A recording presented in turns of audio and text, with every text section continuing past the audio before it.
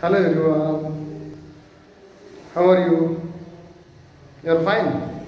Okay. Uh, today we are going to start your syllabus. That is uh, first poem. Uh, you are in seventh standard now. Last year you were in sixth. Now you are in seventh. Last year I taught you after uh, second term. Now this year from beginning I am going to take your class. We are going to take online class and uh, see page number one. And uh, 1.1 there are four units. We are going to study first unit unit 1 and in unit 1 1, 1 1.1 it is poem that is past present and future this is the poem uh, see before going to teach this poem i am giving you homework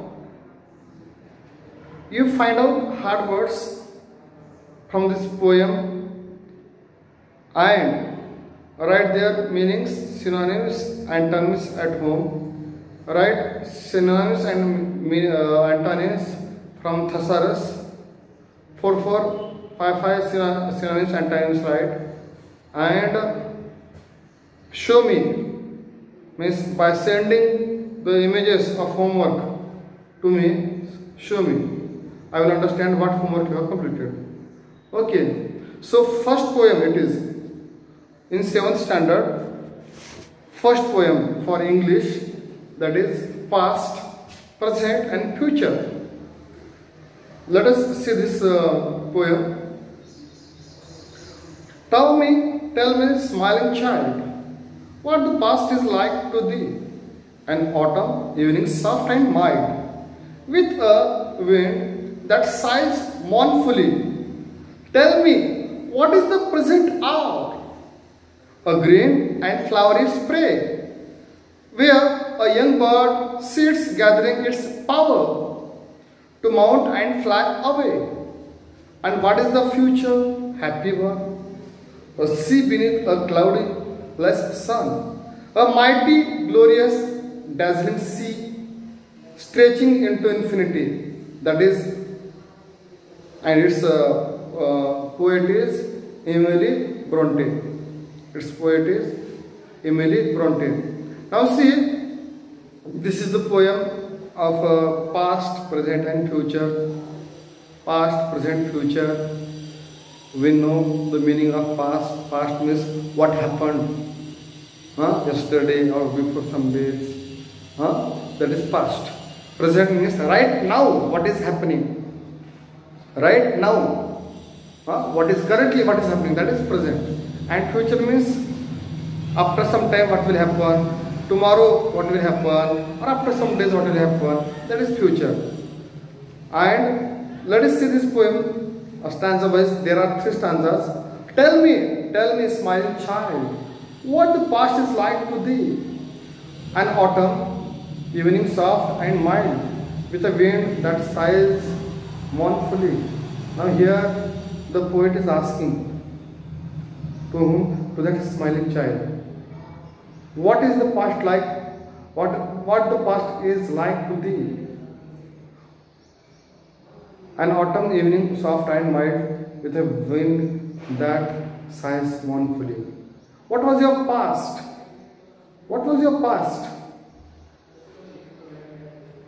And in autumn season, how is autumn? It is in the evening, soft and mild. Mild, mild means very soft. Mild very soft, with a wind that sighs mournfully. In autumn season, wind wind uh, flows. And how does uh, the wind flow? Softly. And and that's why we feel it is mourning. Mourning means m o u r n i n g. Mourning means uh, crying. Huh? that wind is sad why do we feel like this because it was past in past what do we remember we remember sad things and bad things. That's why it is said mournfully. We do not remember. We do not remember easily happy thing, but we can remember sad things or bad things. That's why it is said mournfully. Second stanza. Tell me, what is the present hour? A green and flowery spray, where a young bird sits gathering its power to mount and fly away. Now see how is this present hour Miss presently how this bird is passing the time. Green and flowery spray. Green and flowery spray means everywhere there is greenery and uh, everywhere there are uh, flowers. You can understand means here greenery is there, plants are grown, there are grasses, there are flowers on the plants and trees where young bird sits gathering its power and young bird sits on that plant or tree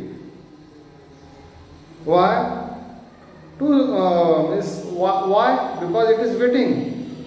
That young bird is waiting for what? For flying, for mounting. Mounting is to fly in the sky. Presently means that bird is waiting to grow. That bird is waiting to fly. That bird is waiting for proceeding ahead. And what is the future? Happy one a sea beneath a cloudless sun and uh, mighty glorious dazzling sea stretching into infinity Emily Bronte what is the future oh happy one. What is the future? We don't know what is the future. A sea beneath a cloudless sun. We see that sea is flowing. We know definitely sea will flow sun will rise sun will set. We know a mighty glorious dazzling sea stretching into infinity.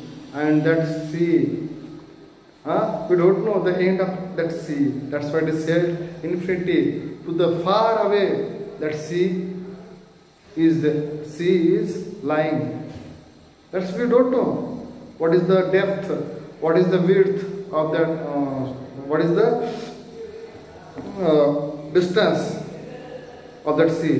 Means from by standing on one place we feel that sea and its horizon uh, horizon you know where the sky meets the land or sea that horizon.